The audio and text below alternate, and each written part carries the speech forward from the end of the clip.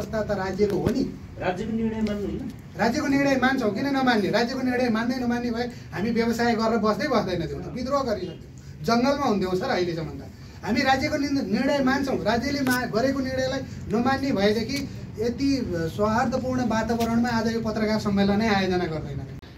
व्यवसाय गरिरहँदाखेरि हामीले अहिलेसम्म दस एघार वर्षको अवधिमा व्यवसाय गर्दै गर्दाको अवस्थामा हामीले बुझेका र जानेका र हामीले भोगेका अवसर र चुनौतीहरूलाई समीक्षा गर्दाखेरि आज हामी अर्को एउटा निष्कर्षमा पुगेका छौँ। थोरै सरकारले पनि यो निष्कर्षमा सहयोग गरेको छ। त्यसको लागि नेपाल सरकारप्रति हामी व्यावसायिक संस्थाको तर्फबाट हार्दिक धन्यवाद पनि भन्न चाहन्छौँ। र आज यस अवस्थासम्म आइपुग्दाखेरि हामी चाहिँ व्यावसायिक क्षेत्रमा लागेका किसानहरूको अथाह पीडाहरू चाहिँ धेरै पीडाहरू छन्। यो पीडालाई सम्पूर्ण रूपमा सरकारले सम्बोधन गर्न सकिराखेको अवस्था पनि छैन र त्यस अवस्थालाई हामीले अवसरको रूपमा भन्दा पनि चुनौतीको रूपमा सामना गर्नु परिराखेको अवस्था हो। र यो अवस्थालाई अब हामीले कसरी व्यवस्थापन गर्ने भनेर अगाडि बढ्दै गर्दाखेरि सोच्दै गर्दाखेरि यो अवस्थालाई सामना गर्नको लागि हामीले उत्पादन लागतमा भएको मूल्य वृद्धिलाई तत्कालै कार्यान्वयनमा लाग लग्नुपर्ने अवस्थाको सृजना भयो। र यो अवस्थालाई निरन्तरता दिने हाम्रो चाहिँ कुनै रहर पनि होइन। यो बाध्यात्मक अवस्था हो। र यो बाध्यात्मक अवस्थामा म सम्पूर्ण पत्रकार साथीहरू मार्फत के कुरा अवगत गराउन चाहन्छु भने आज हामी जसरी उत्पादनमा लागेका छौँ र हामीले जुन खालको स्थानीय स्तरमा उत्पादन गरेर एउटा योगदान दिएका छौँ यो एक खालको हामीले योगदान दिएका छौँ यो योगदानलाई पनि सरकारले सम्बोधन गर्न नसकेको अवस्थालाई थोरै मात्रै सम्बोधन गरेको अवस्थालाई हाम्रो व्यावसायिक संस्थाले राष्ट्रिय व्यावसायिक पशुपालन तथा दुग्ध उत्पादन कृषक समाज नेपालको तर्फबाट चाहिँ हामीले मिति दुई हजार अठहत्तर दसको महिना बाइस गते हामीले यही हलमा सम्पूर्ण किसानहरूलाई उपस्थित गराई हामीले एक खालको छलफल गरेका थियौँ। त्यो छलफलबाट एउटा निष्कर्ष निक्लिएको थियो। त्यो निष्कर्ष भनेको उत्पादन लागतमा भएको लगभग दोब्बर मूल्य वृद्धिको कारणले सरकारले छ रुपियाँ बाहन्न पैसा बढाउँदै गर्दाखेरि यसले चाहिँ किसानहरूको समस्यालाई के हदसम्म मात्रै सम्बोधन गरेको हुँदा हामीले चाहिँ व्यावसायिक संस्थाको तर्फबाट उत्पादनमा लागेका किसानहरूले प्रति लिटरमा दस रुपियाँ वृद्धि हुनुपर्ने भन्दै गर्दा र राष्ट्रिय स्तरमा बनेको कार्यदलले पनि न्यूनतम दस रुपियाँ मूल्य वृद्धि गर्नुपर्छ भन्दै गर्दा सरकारले सो कुरालाई कार्यदलले दिएको सुझावलाई जस्ताको तस्तै कार्यान्वयन गर्ने भन्ने खालको चाहिँ कृषि मन्त्रालयमा सहमति हुँदा हुँदै पनि र सो कुरालाई चाहिँ जस्ताको तस्तै जस्ताको तस्तै गरेर चाहिँ कार्यान्वयनमा नलगेको र छ रुपियाँ बाहन्न पैसा चाहिँ मात्रै चाहिँ मूल्य वृद्धि गरेको हुँदा हामी किसानहरू अत्यन्तै चाहिँ मर्कामा र पिरमा परेको हुँदा हामीले व्यावसायिक संस्थाको तर्फबाट प्रति लिटर दस रुपियाँ मूल्य वृद्धि गर्ने निर्णय गरेका छौँ। दुध दुधमा मात्रै है दुधमा प्रति लिटर दस रुपियाँ र गाई गाई या भैँसीको दुधमा चाहिँ हामीले प्रति लिटर दस र दहीमा हामीले त्यही अनुसारले है दहीमा भन्दा यहाँ एकदमै ठ्याक्कै हामीले छुट्याएका छैनौँ र यो सबै चिजहरूमा लगभग सबैमा दस रुपियाँ चाहिँ छुट्याएका रहेछौँ। द दस रुपियाँको चाहिँ प्रति लिटरको चाहिँ द दस रुपियाँ मूल्य वृद्धि गरेका छौँ र यो मूल्य वृद्धिलाई हामीले दुई हजार अठहत्तर एघारको महिना एक गतेबाट फागुन एक गतेबाट कार्यान्वयनमा लाने चाहिँ बेहोरा पनि यहाँहरूलाई अनुरोध पनि गर्दछौँ। र अर्को कुरा यो मूल्य वृद्धिले पक्कै पनि मलाई लाग्छ आम उपभोक्तालाई एउटा खालको असर पर्छ किनकि हाम्रो चाहिँ अहिलेको यो जुन कोभिडको अवस्थाले र हामीसँग भएको स्रोत साधनको अवस्थाले पनि एक खालको चाहिँ उपभोक्ता वर्गमा एउटा खालको असर पर्ने देखिन्छ। त्यो असरलाई पनि हामीले धेरै धेरै हाम्रो व्यावसायिक संस्थाको तर्फबाट धेरैभन्दा धेरै नै हामीले त्यसलाई मध्यनजर गर्दै यो कुरो यो दस रुपियाँ प्रति लिटरमा मूल्य वृद्धि गर्ने चाहिँ निर्णयमा पुगेका छौँ। यो हामीले सरकारसँग पनि कार्यदल बन्दै गर्दा सरकारसँग पनि हामीले जोरदार रूपमा यो कुरालाई हामीले उठाएका थियौँ। कम्तीमा पनि दस रुपियाँ भनेका थियौँ बढीमा चौध रुपियाँ भनेका थियौँ। दस रुपियाँ कार्यदलले दिएको सुझावमा पनि त्यो ड्राफ्ट अहिले पनि सङ्घीय मन्त्रालयमा छ। र त्यो ड्राफ्टमा दस रुपियाँ चाहिँ कार्यदलले पनि सुझावको रूपमा दिएको थियो। किसानलाई प्रति लिटर दस रुपियाँ चाहिँ मूल्य वृद्धि हुनुपर्ने अनिवार्य हुनुपर्ने। किनकि दाना चोकर लगायत विभिन्न चिजहरूमा चाहिँ अत्याधिक मूल्य वृद्धि भएको हुँदाखेरि अब यो दुध जस्तो चिज दुध उम्, दुध उत्को चाहिँ जस्तो चिजको चाहिँ सरकारसँग चाहिँ मूल्य वृद्धिको लागि परनिर्भर हुनुपर्ने अवस्था भएको हुँदा कार्यदलले दिएको सुझावलाई पनि सरकारले केही कुराहरू कटौती गरेर केही चाहिँ थोरै मात्रामा चाहिँ मूल्य वृद्धि गरेको छ। यसलाई हामीले यसैमा टेकेर यसैलाई जोडेर हामीले चाहिँ प्रति लिटर चाहिँ दस रुपियाँका दरले उत्पादित दुध अब होल मिल्क भन्छ होल मिल्क चाहिँ दस रुपियाँ दरले मूल्य वृद्धि गर्ने निर्णय गरेका छौँ।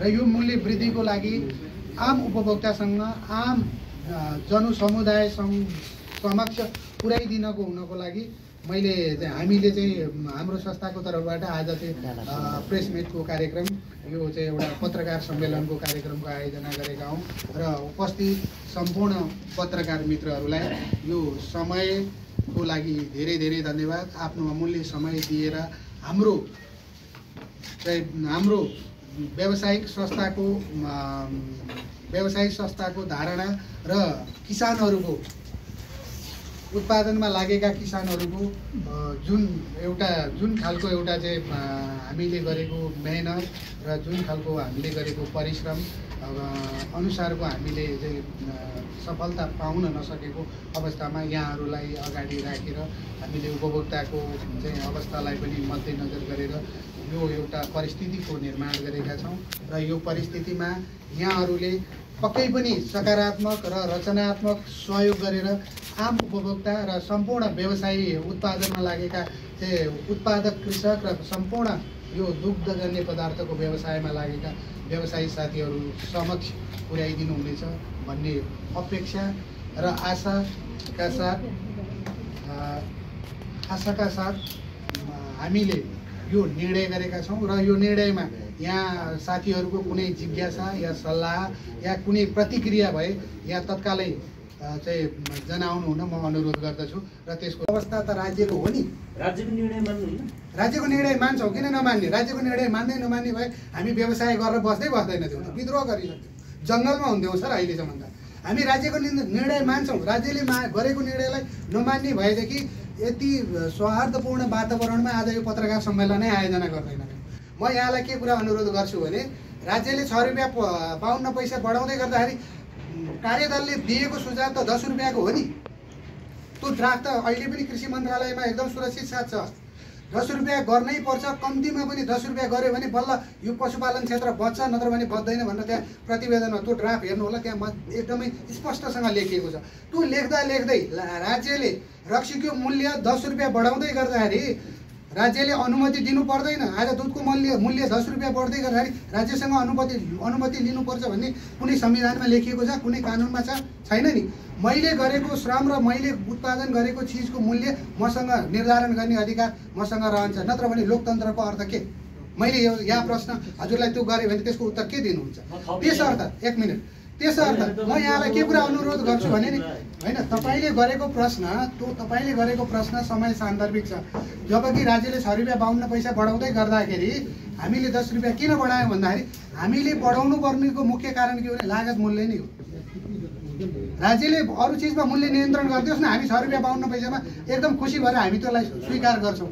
किनकि राज्यले अरू चिजको मूल्यलाई अनियन्त्रित रूपमा वृद्धि हुँदा पनि त्यसलाई नियन्त्रण गर्ने कुनै संयन्त्र बनाउँदैन। दुधको मूल्यमा हामीले गरेको उत्पादन हाम्रो पसिनामा राज्यले चाहिँ मूल्य निर्धारण गरिदिनु पर्ने र त्यो मूल्य निर्धारणमा किसानले जहिले पनि के भन्छ माटामुनि पिसेर थोत्रो झोत्रो लगाएर व्यवसाय गरेको चिजलाई मात्रै जहिले पनि आत्मसात गर्नुपर्ने? यो त गलत हो नि। त्यसर्थ म यहाँलाई के अनुरोध गर्छु भने तपाईँले सोधेको प्रश्न सही हो। हजुरको प्रश्नलाई मैले गलत भनिनँ तर यो प्रश्नभित्र अन्तर्निहित वस्तु के हो त? यथार्थ के हो त? सत्य के हो? किसानले हेर्नुहोस् आज म तपाईँलाई भन्छु यो बा सत्य कुरा हो यो लुक्दैन।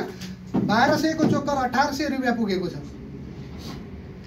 विदेशबाट फर्केर आएको एकजनाले दुई के अरे पच्चिस लाख रुपियाँ लगानी गरेर पन्ध्रवटा भैँसी पाल्दै गर्दाखेरि आजभन्दा दुई वर्ष अगाडि उसले बिस हजार रुपियाँ कमाउँछ आज उसको घरबाट चालिस हजार रुपियाँ जान्छ।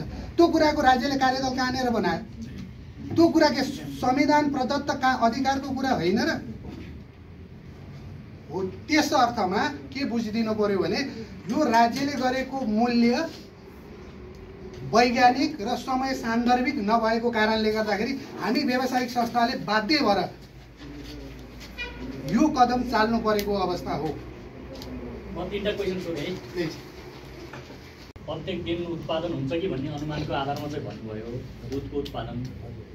त्यो उत्पादन हुने गाई भैँसी पालकहरू पशुपालक व्यवसायहरू अब साना त सानै भयो क्या त्यही पनि ठुला साना गरेर अथवा व्यावसायिक रूपमा दर्ता गरेर सञ्चालन गर्ने फर्म दर्ता गरेर दुध उत्पादन गर्ने कति कति किसानहरू हुन्छ है एउटा क्वेसन अनि अर्को कुरा तपाईँले भनेको जस्तै अब यता सरकारी पक्षबाट पनि हामीले सोद्धाखेरि के भन्छौँ हामी त किसानहरूलाई गण्डकी प्रदेशमा त हामीले किसानहरूलाई यति सहयोग गरेका छौँ यति सहयोग गरेका छौँ कि अनुदान बाँडेरै उहाँहरूको उत्पादनभन्दा बढी त हामीले अनुदान बाँडेका छौँ भनेर चाहिँ सरकारी पक्षको कुरा पनि आउने गर्छ। यहाँहरूले अनुदान पाउने गर्नु भएको छ कि छैन? सरकारले तपाईँहरूको मूल्य वृद्धि नगरे पनि अनुदान त लिनु भएको छ होला नि त। कि लिने गर्नु भएको छैन? त्यो एउटा क्वेसन भयो अनि यहाँहरूले चाहिँ नि कास्की जिल्लामा उत्पादन भएको दुध बाहेक बाहिरबाट आयात गरेर दुध चाहिँ नि निर्यात गर्नुहुन्छ या बाहिरबाट आयात गर्ने गर्छ? के छ स्थिति? त्यो तिनवटा कुरा प्रश्नको लागि धेरै धेरै धन्यवाद। र दर्ता भएका किसानहरू अब मलाई लाग्छ कास्कीमा महानगरमा सूचीकृत भएका किसानहरू लगभग दुई सय सन्ताउन्नजना पुगेको थियो केही समय अगाडि र सूचीकृत भएका व्यवसायिक किसानहरू पाँचवटा भन्दा बढी पाल्ने यसलाई किसानलाई वर्गीकरण गरेर सूचीकृत गर्ने एउटा चाहिँ प्रक्रिया या त्यो एउटा अभ्यास सुरुवात भएको थियो। र त्यो सुरुवात सुरुवाती अवस्थामा दुई सय सन्ताउन्न किसानहरू चाहिँ सू सूचीकृत भएका थिए। र अब अनुदानको सन्दर्भमा कुरा उठाइहाल्नुभयो यो अनुदान भन्ने चिजलाई अब मैले चाहिँ के भनौँ कसरी भनौँ है म एउटा म पनि व्यवसायी नै हो। सायद लाग्छ मलाई म गण्डकी प्रदेशको सबैभन्दा ठुलो व्यवसायी हो। मैले लाइफ स्टक क्षेत्रमा झन् झन् एघार करोड रुपियाँ इन्भेस्टमेन्ट गरेको छु। आज म त्यो व्यवसायमा मैले त्यति इन्भेस्टमेन्ट गर्दै गर्दाखेरि सबैभन्दा बढी पीडा र सबैभन्दा बढी गिल्टी फिल भन्छ नि रिग्रेट भन्छ नि त्यो अवस्थामा म छु। किनभने पाँच वर्ष पहिला मैले यहीँ भएका साथीहरूलाई अन्तर्वार्ता दिँदै गर्दाखेरि यो क्षेत्रलाई इन्डस्ट्रीको रूपमा विकास गर्नुपर्छ भन्ने व्यक्ति पनि मै मै हो। र आज आएर म यो क्षेत्रमा लाग्नु भनेको सबैभन्दा ठुलो जीवनको दुर्भाग्य हो भनेर मैले भन्नुपर्ने हुन्छ। किनकि सत्य लुक्दैन। हेर्नुहोस् कहिले पनि दुःख लुकाएर हामी केही क्षण बाँच्न सक्छौँ तर रमाउन सक्दैनौँ। सुख हामीले धेरै समय लुकाएर बाँच्न र रमाउन सक्छौँ। यस अर्थमा के हो भने तर्क हामी जसरी पनि गरेर जहाँ पनि पुर्याउन सक्छौँ निष्कर्ष सकिँदैन। यस अर्थमा अनुदानको कुरा। म गण्डकी प्रदेशको सबैभन्दा ठुलो किसान हो। मैले दुई हजार बहत्तर सालमा चार लाख रुपियाँ लिएको हो र त्योभन्दा पछाडि एक रुपियाँ अनुदान लिएको। या कहीँ पनिबाट मलाई करोडौँ रुपियाँ खायो भन्छन्। तर मैले मेरो वास्तविकता भन्नुपर्दाखेरि पाँच चार लाखभन्दा एक रुपियाँ राज्यसँगबाट एक रुपियाँ अनुदान आजसम्म पाएको छैन। यदि कसैले त्यो प्रुफ दिन्छ भने म अहिले भर्खर त्यो व्यवसायलाई ह्यान्डओभर गरेर म त्यत्तिकै हिँड्नको लागि तयार छु। भनेपछि यो अवस्था होइन होइन। अब लिएको कुरा मैले भन्दै गर्दाखेरि अब प्रदेश सरकार प्रदेशहरू निर्माण हुँदै गर्दाखेरि प्रादेशिक यो प्रदे प्रदेश संरचनामा जाँदै गर्दाखेरि देश संहितामा गएर प्रादेशिक संरचनाहरूमा जाँदै गर्दाखेरि अब यहाँ धेरै मोडल फार्महरूका कुराहरू आए धेरै कुराहरू भए अनुदानका विषयमा धेरै छलफलहरू पनि भए। र भनियो कागडभित्र लग्छु पुर्याइयो बागलुङतिर। त्यसो भएको हुनाले यो अनुदानको विषयमा यो चाहिँ मैले भन्दा पनि सरकारी कर्मचारीहरूले अब धेरै बाँडेका छौँ भनिरहँदै गर्दाखेरि तपाईँहरूले उहाँसँगै तथ्याङ्क दिए। क कसलाई कति कति दियौ र भयो त्यसबाट उत्पादन वृद्धि कहाँ कहाँ कति कति भयो यो यहाँहरूले सोधिदिनु भयो भने हामी चाहिँ अझै पनि आभारी हुने थियौँ। किनकि हामी जेन्युन किसान हामी हो। हामीले यहाँ गरेका छौँ। हामीले यो स्थानीय स्तरमा धेरै ठुलो योगदान दिएका छौँ। म आफै प्रतिदिन लगभग सोह्र सय सत्र सय लिटर दुध उत्पादन गरेर बेच्छु। भने मेरो त अवस्था यो छ भने अरू किसानले पायो भनेर म कसरी मूल्याङ्कन गर्न सक्छु? होला कुनै नेताका कार्यकर्ताहरूले पाए भने मलाई त्यो थाहा भएन। थाहा नभएको कुरा मैले गर्न मिल्दैन। नभए भने वास्तविक किसानहरूले अझै पनि राज्यसँगबाट उचित संरक्षण र उचित सम्मान र उचित सम्वर्धन पाएका छैनन्। यो चाहिँ सत्य कुरा हो। हामीले बारम्बार भन्छौँ उत्पादनको आधार आधारमा अनुदान वितरण कार्यक्रमलाई प्रभावकारी बनाएर लैजाउँ भनेर हामीले राज्यका निकायहरूलाई दिन दिन भनेका छौँ तर उहाँहरूको अब के छ इन्टेन्सन त्यो थाहा भएन। हुन्छ भन्नुहुन्छ फेरि पछि कार्यान्वयनमा जाँदैन। र अर्को कुरा अब आयातको आयात निर्यातको कुरा आयात निर्यातको कुरामा चाहिँ मलाई लाग्छ गण्डकी प्रदेशमा अहिले दुध आयात पोखरालाई दुध नपुगेर आयात भइराखेको छ। कपिल वस्तु नवलपरासीबाट आयात भएको सामान्य रूपमा आयात भएको कुरा दिनमा लगभग सातदेखि दस हजार लिटरको चाहिँ प्रतिदिन आयात भइराखेको अवस्था छ। र त्यो चाहिँ काँचो दुध उहाँदेखिबाट चाहिँ लिएर आएर यहाँ पास्टराइजिङ गरेर बेच्ने प्रक्रिया चाहिँ अब मैले दुई तिनवटा चाहिँ डेरीहरूले गरिराखेका छन्। अब रह्यो डेरी इन्डस्ट्रीहरूले त अब चिताउन अब धेरै ठाउँबाट चाहिँ उनीहरूले चाहिँ ट्याङ्करका ट्याङ्कर आयात गरेर पनि बेचिराखेको छ र हामी अझै पनि कास्कीमा दुधमा आत्मनिर्भर छैनौँ। सरकारी कर्मचारीले कसरी तथ्याङ्क हुन्छ भने यता तेइस हजार उत्पादन हुन्छ भनेपछि त्यो घटाउनु पऱ्यो तेइस हजार होइन तेइस हजार त यहाँको यहाँको उत्पादन है।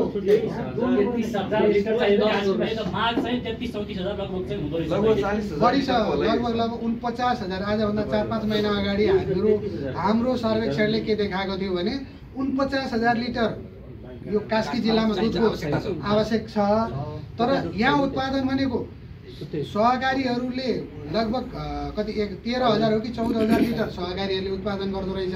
व्यवसायी किसानहरूले तेइस हजार गर्दो रहेछ र अनि तराईबाट दस हजार लिटर गर्दाखेरि अझै पनि एक डेढ हजार लिटर अपुग भएको अवस्था थियो।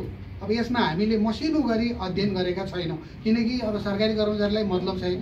जो जिम्मेवारी लिएर बसेको छ ऊ निकायलाई नि खासै ध्यान नगएपछि हामीले घचघच्याएर मात्र केही नहुँदो रहेछ।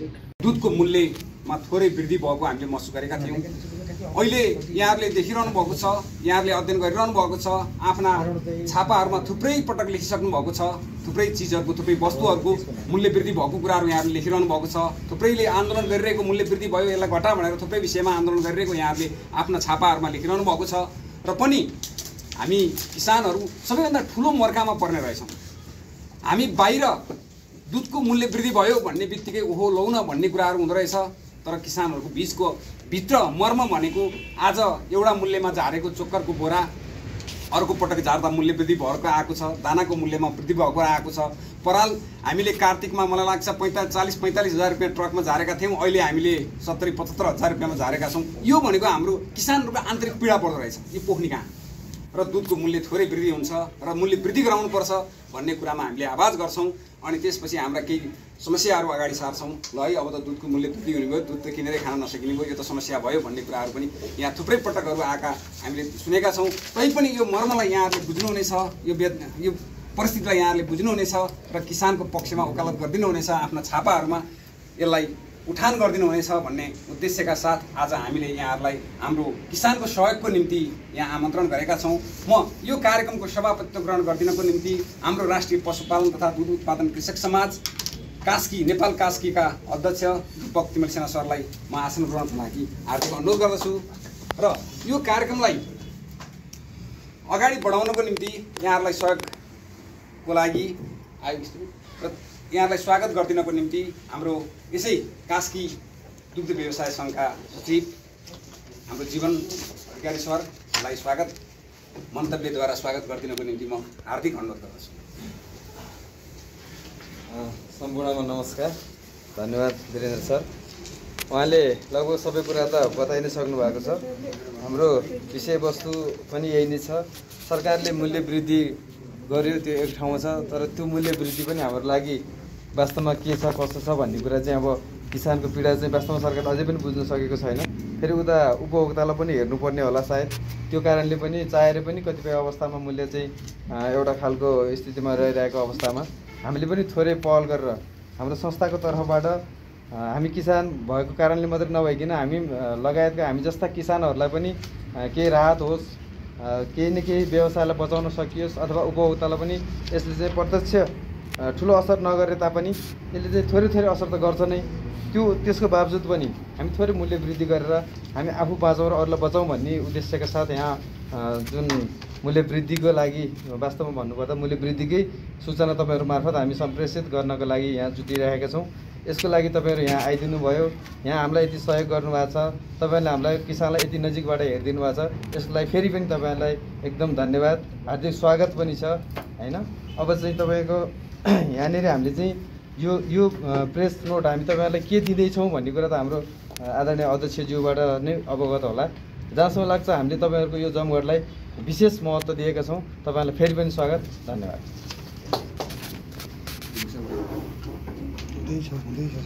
धेरै थोरै हुन्थ्यो। धेरै ल्याउनुहुन्छ।